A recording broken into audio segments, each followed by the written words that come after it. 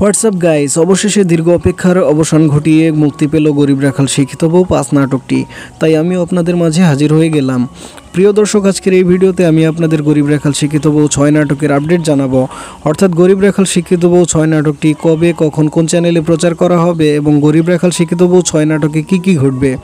So যারা এখনও YouTube থেকে গরিব রেখাল শিক্ষিত বউ পাঁচ নাটকটি দেখেননি, তারা এই ভিডিওটি এখানে স্টপ করে আগে ইউটিউব থেকে গরিব রেখাল শিক্ষিত বউ পাঁচ নাটকটি দেখে আসুন এবং তারপর আমার এই ভিডিওটি দেখা শুরু করুন।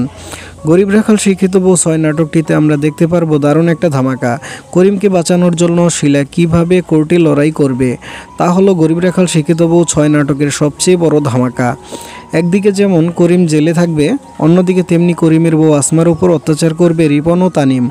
রত্নার তো মারাই গেল এবং রত্না বড় বোন স্বপ্না এবার ক্ষিপ্ত হয়ে আছে, কারণ সে তার বোনকে হত্যার প্রতিশোধ নিতে চায়।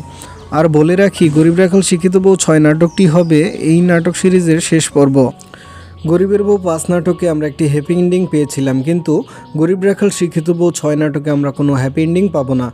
হয়তো মিথ্যে মামলায় ফেসে রাখাল করিমের ফাঁসি হবে, আর না হয় সকল তথ্য ফাঁস হবে, এবং করিম নির্দোষ প্রমাণিত হবে, আর তানিম ও রিমনের শাস্তি হবে। মোট কথা, কোনো হ্যাপি এন্ডিং আমরা পাবো না গরিব রাখাল শিক্ষিত বউ ছয় নাটকে।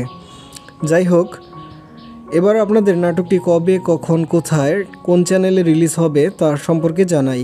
গরিব রাখাল শিক্ষিত বউ ছয় শিরোনামের এই নাটকটি ফেব্রুয়ারির আঠারো তারিখে রবিবার বিকাল তিনটা তিরিশ মিনিটে ইগল প্রিমিয়ার স্টেশন ইউটিউব চ্যানেলে প্রচারিত হবে।